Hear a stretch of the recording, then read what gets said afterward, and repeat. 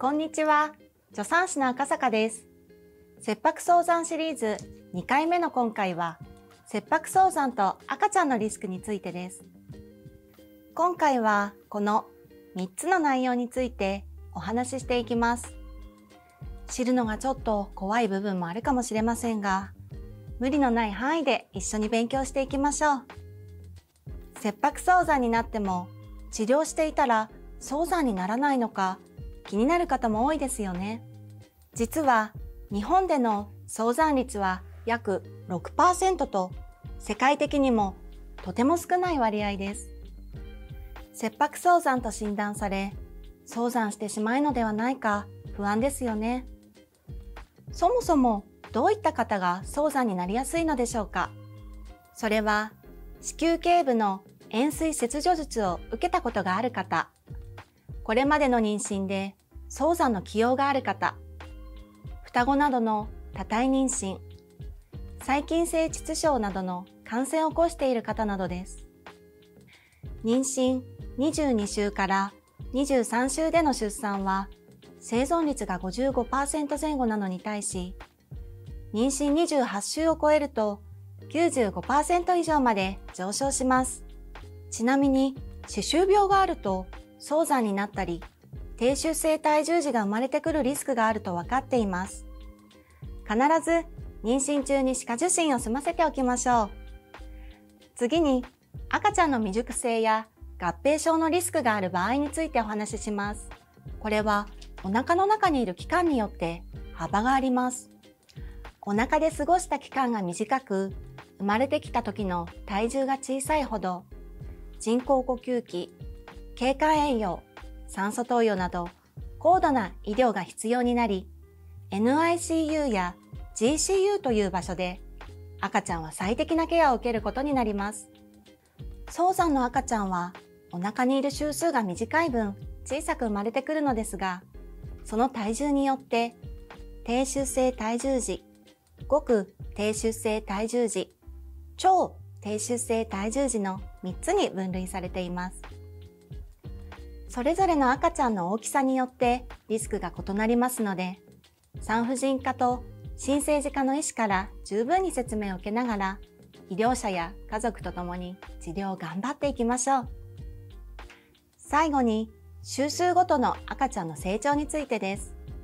赤ちゃんは週数ごとの発達段階が決まっていて、骨格、内臓の順にできていきます。そして、それにはいくつかの節目があります。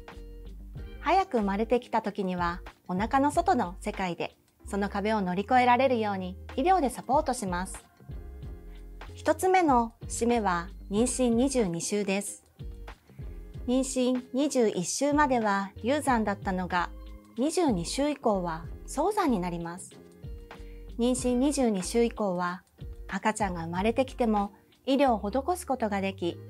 生きられる可能性が高い生存可能時期になります。二つ目の節目は妊娠28週です。赤ちゃんの体重が 1000g ほどになり、95%以上の赤ちゃんが生存できると言われる週数です。また、妊娠28週以降、ハイサーファクタントという物質が増加し始めます。ハイサーファクタントは肺を広げるために必要な物質で、赤ちゃんがお腹の外で生きていくためにとても大切です。ハイサーファクタントのおかげで赤ちゃんは出生後上手に呼吸できるんですね。その後、妊娠30週あたりになると聴覚が完成に近づき、お腹の外から話しかけた言葉も聞こえている時期になります。また、味や明るさ、暗さも感じ取れるようになってきます。三つ目の節目は、妊娠32週です。妊娠32週以降は、赤ちゃんの未熟性や感染による合併症のリスクがぐっと下がります。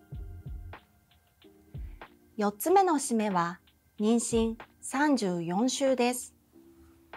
妊娠34週には、肺の機能が完成し、ハイサーファクタントも十分になるため、生まれても自力で呼吸できる赤ちゃんが多くなります。そして、最後の節目が、すべての体の器官が完成する妊娠36週の時です。妊娠37週からはいつ生まれてもいい正規産の時期に入ります。切迫早産の治療をしていると、一日でも長く赤ちゃんをお腹の中にいさせてあげたいとママたちは必死です。そんなママと赤ちゃんの頑張りを家族みんなで支えていきたいですね。それでは次の動画では切迫早産の治療について解説したいと思います。